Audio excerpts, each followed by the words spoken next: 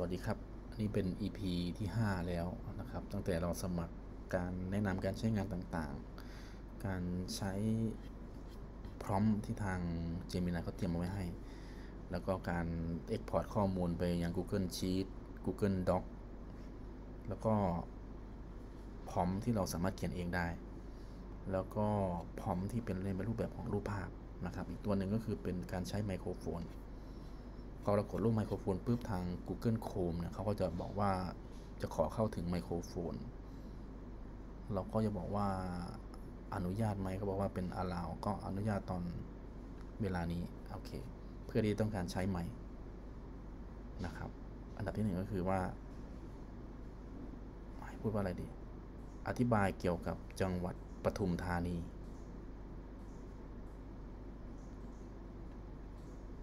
ปิด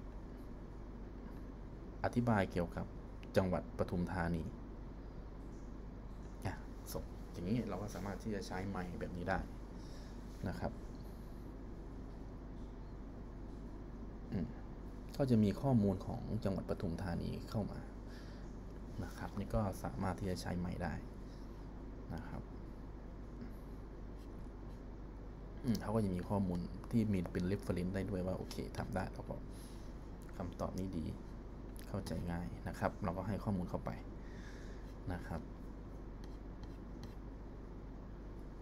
มีอะไรอีก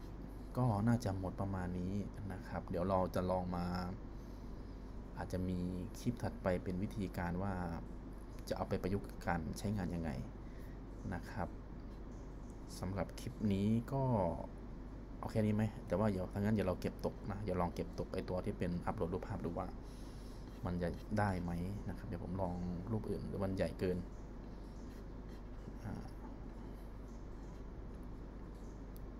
สมมติว่าผมมีรูปอันนี้อ่าโอเค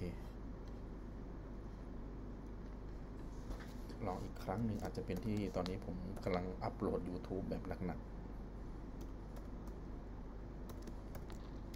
รูปภาพนี้ แล้วกด Enter ไป บางทีรูปภาพใหญ่ภาพเล็กอาจจะมีผลนะครับ เพราะว่ามันอาจจะขึ้นอยู่กับอินเทอร์เน็ตด้วย อันนี้ก็คือเป็นเหรียญที่ผมทำในงานวิจัยในระดับปริญญาเอกก็เป็นเหรียญเหรียญตราใน gamification ของผมโอเค อันนี้มันก็จะสามารถอธิบายได้แล้วใช่ไหมครับว่าเนี่ยเห็นไหมเป็นรูปสติกเกอร์สีขาว มีเลขอะไรเนี่ยมีอักษรเลขมีตัว S ดิจิตอลอะไรอย่างเงี้ยเขาก็อธิบายไปนะครับ การตีความอะไรเขาก็ว่าไป ตามรูปภาพที่เขาเห็น อันนี้ก็ถือว่าเป็นเอาไปประยุกต์ได้ว่าเออมันสามารถที่จะอ่านภาพนี้ได้ แต่อาจจะยังไม่ตรงมากนะครับอ่านคำตอบที่2ก็ตอบว่าอะไรบ้างอะไรเงี้ยก็จะเป็นในลักษณะประมาณนี้นะครับโอเคสำหรับวันนี้เอาแค่นี้ก่อนนะครับผม สวัสดีครับ